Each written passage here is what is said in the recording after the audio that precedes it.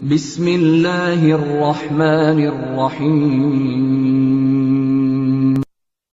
بسم اللہ الرحمن الرحیم ایک بھائی نے دریافت کیا ہے کہ جمعے کے دن زوال کے وقت نماز پڑھنے کا کیا حکم ہے؟ میرا خیال ہے کہ یہ پوچھنا چاہ رہے ہیں کہ جو زوال ظہر کا وقت ہے، اس بارے میں یعنی اس وقت لوگ مسجد میں آتے ہیں اور آ کر نماز پڑھنا شروع کر دیتے ہیں۔ اس بارے میں کیا حکم ہے؟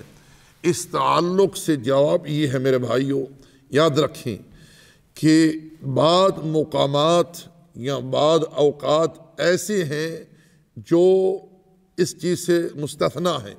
مثلا اگر کوئی شخص مسجد الحرام میں داخل ہوتا ہے، اب وہ کسی وقت میں داخل ہو اس کے لیے یہ حکم نہیں ہے۔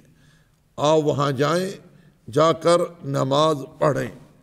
کوئی رکاوٹ نہیں ہے، کوئی تحدید نہیں ہے۔ نہ ہی کسی وقت کی اور نہ ہی کسی اور چیز کی۔ آپ وہاں جا کر کسی وقت بھی نماز ادا کر سکتے ہیں۔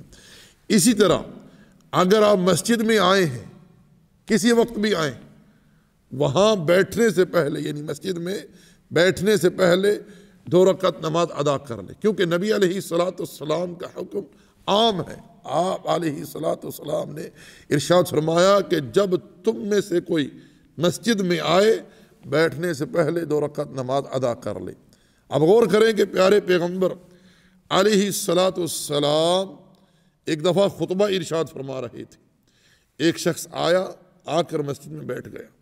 نبی علیہ صلاۃ السلام نے دوران خطبہ اس سے دریافت کیا کیا تم نے بیٹھنے سے پہلے نماز پڑھی ہے تو اس نے عرض کیا نہیں، فرمایا اٹھو اور پڑھ کر بیٹھو اب غور کریں کہ دوران خطبہ بھی نبی علیہ صلاۃ السلام نے تحیت المسجد ادا کرنے کی اس شخص کو تعلیم دی۔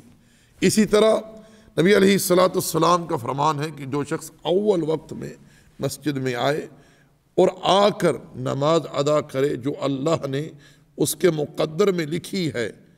پھر وہ خطیب کے آنے پر خاموشی سے بیٹھ جائے، خاموشی سے خطبہ سنے، کوئی لغو کام نہ کرے۔ یعنی غور کریں کہ جب سے وہ مسجد میں آیا ہے، وہ دو دو رکعت کر کے ادا کرتا رہا۔ اور جب خطیب آ جائے، خاموشی سے بیٹھ کر خطیب کا خطبہ سنے، کوئی لغو کام نہ کرے۔ فرمایا کہ اس کے گناہ جو ہیں، دونوں جمعوں کے درمیان جو ہیں، وہ معاف کر دیے جاتے ہیں۔ اور یاد رکھیں یہاں، گناہوں سے مراد چھوٹے گناہ ہیں۔ اس لیے آپ کبھی بھی مسجد میں آئیں، بیٹھنے سے پہلے دو رکعت تحیت المسجد ادا کریں، مسجد الحرام میں جائیں، کسی وقت میں جائیں، وہاں جا کر کبھی بھی جائیں، نماز ادا کر سکتے ہیں۔ کوئی رکاوٹ نہیں ہے۔ اسی طرح جمعے کے دن جو ظہر کا وقت ہوتا ہے، نماز جمعہ کا جو وقت ہوتا ہے، آپ گھنٹہ، آدھا گھنٹہ، دو گھنٹے پہلے آ گئے۔ آپ دو رکعت کر کے پڑھتے رہیں جتنی آپ میں استطاعت ہے، توفیق ہے، آسانی ہے۔ بات سمیرے پڑھتے رہیں۔ اور جب خطیب آ جائے، خاموشی سے بیٹھ کر خطبہ سنیں اور حدیث میں جو بشارت آئی وہ آپ نے سن لی ہے۔ جی۔